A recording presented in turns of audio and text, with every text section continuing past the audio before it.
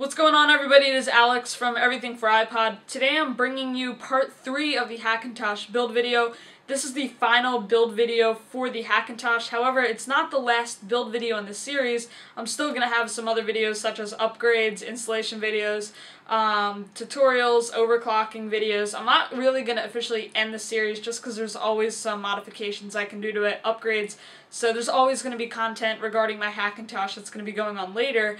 Um, so yeah, this is part three, final uh, part of the actual build, like the complete uh, build video, everything together. I will have some upgrade videos coming pretty shortly, so stay tuned and make sure you hit the subscribe button for that. Anyway, enjoy the video.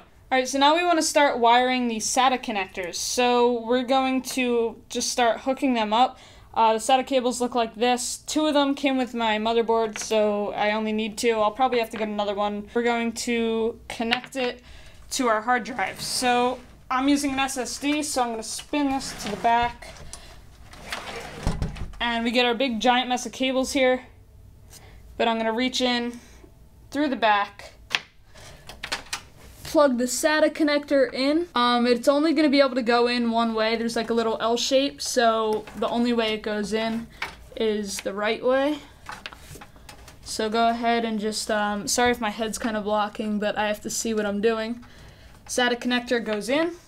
Now we're going to wire it through there and spin her out to the front and pull it through. So the hard drive I'm using does ha have SATA 3 support, so I'm going to hook it up to the SATA 3 connector, which is the top one here. Again, this can only go in one way. There's a little L shape on it. And um, I'm actually going to wire it through right here because that's easier to access. I'm going to push it in and there it is. So our SSD is hooked up. Now I'm gonna do the same exact thing. I'm gonna do it with the uh, um, the disk drive. So again, only one way it can go in. L-shape adapter and into SATA port 2, which is um, SATA 2. So again, one way, it can go in. Just gonna hook it up. And there we go, we have that hooked up. Now we're gonna start wiring the power connectors. So um, if we look around on the back, there's a bunch of power connectors that needs to be connected. Uh, the first one we're gonna start out with is the motherboard power connector. So that's the, the really big one that looks like this. You're gonna have to look at your manual to see what your uh, motherboard needs. Mine also needs a 12 volt to power the uh, CPU. So I'm to wire these through. Um, I'm to look for the best place to do that. And uh, here's my cable coming directly out right here. And there's a little port that I don't know if you guys can see or not, so sorry if you can't. But it hooks straight up to that port right in there. You'll hear a click and you're good to go. Now we're to take our big power supply, which is for the motherboard, find the best place to put that into. So for me, that's to be right here. Go ahead, line it up. There's only one way it can go in. It's foolproof. So line that up, push it in. You'll hear it click and you're all set. And now you can pull the excess cable out through the back. Now we need to do uh, power, first of all, to the graphics card.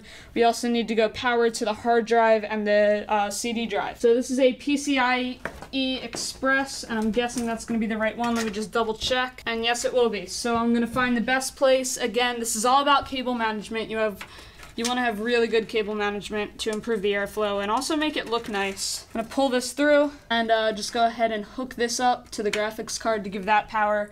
And this little cable you don't have to worry about. Uh, sometimes you use that and sometimes you don't, but I'm just going to drop that and leave it right there. Now we're going to do the same thing. We're going to find our SATA power connector. There's going to be a bunch of these and you're only going to need to use, I'm going to need to use one. There's, I'll bring it through here so you can see, but there's actually like three connectors, three SATA power connectors on each cable, actually four. And uh, so you can use the same cable, but my drives might be too far too far apart that I won't be able to use just one. I might have to go for two. And uh, there's again, these are the L-shaped ones. There's only one way that these cables can go in. I'm gonna connect it to the SSD right now. That's what I'm doing at the moment. Alright, so now we're gonna do another one of these. Sorry if you couldn't see that either. I was working down there. Let me zoom out a little bit so you get a full view. Now I'm gonna go up through the casing and to the uh, DVD drive. Only one way this can go in. All right, so we have power going to the graphics card now. We have power going to the motherboard, power to the SSD, as well as power to the, the DVD drive. So now we're going to take a look at the cables that the casing comes with, and this is where you're really going to need to refer to your manual. Uh, all these cables are going to be going into our motherboard, as well as a fan cable here. We're also going to supply power to the fans, and another fan cable right here. So you're really going to need your motherboard. You cannot do this without or without your manual. Um, so we're going to take a good look at the manual, find out where everything goes. I'm going to unwrap this giant mess of cables here, and uh, we'll start figuring out which cable goes where. We've got our HD audio. That's going to go, and mine is actually labeled, so it's making things a lot easier. So this is going in right here into the HD audio header. This is a USB header, and that is going to go right into here.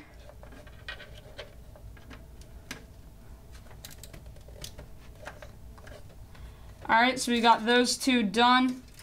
We're to take a look at these. These are all the really like colorful ones um, that are really tiny and supposed to be a pain in the ass.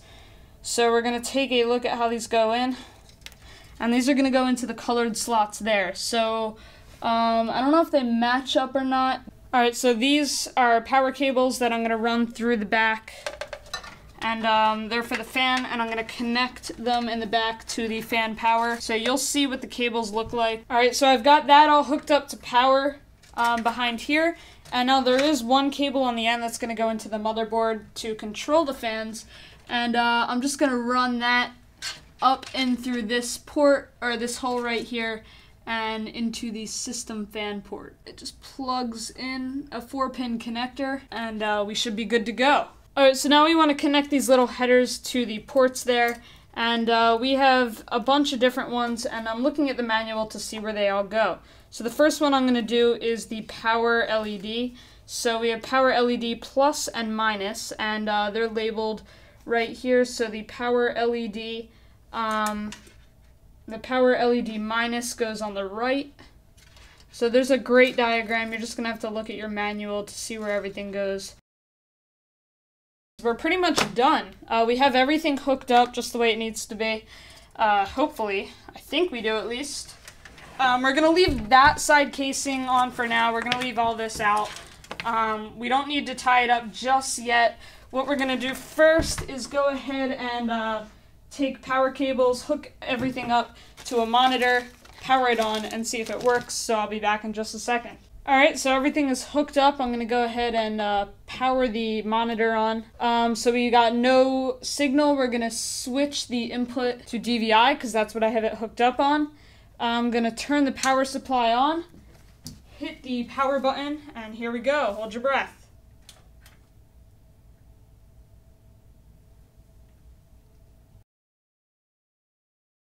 Alright, so um, I actually couldn't get it on did a bunch of troubleshooting and uh, I realized that my power supply that I was using was dead. So I went and got a new one. I actually tested it and I grounded the green wire from this cable to the black or the green wire to the uh, black ground cable and it wasn't working. So I had a faulty power supply so I got rid of that one. Got a 750 watt Thermaltake uh, Smart Series. This is the Smart M750W and uh, which is M750 watts, and it is modular, which is awesome, so I don't need that many cables. It's kind of a mess in here right now because I didn't do any cable management when I put it in. I'm going to do that in a little while after I just make sure this is all done. So I've got everything hooked up. I haven't booted it up yet. Um, I'm going to make sure that my uh, input is correct. DVI, we're going to turn, go ahead and turn the power supply on, hit the power, and uh, there we go. We got a little beep, one beep. Our CPU fan is running. We've got a uh, UEFI dual BIOS screen up. The main BIOS is corrupted. It's updating the main BIOS. We've got movement. We got a beep from our speaker. We've got our CPU fan on, our rear fan, fan on. Screen turned off. DVI no signal. Another little beep. Alright, so that's perfect. Um, there's no boot device yet, so uh, there's no operating system installed, so that's what, just what I'm looking for. Alright guys, thanks for watching. If you enjoyed it, please hit the like button. It does help me out a lot, as well as the subscribe button so you don't miss out on anything. I still have a lot of iPhone 5 videos to come, as well as some more Hackintosh tutorials, as well as upgrades for the Hackintosh. So make sure you hit the subscribe button and stay tuned for that. Anyway, thanks for watching. Uh, again, don't forget to subscribe, and I will catch you in my next video. See ya.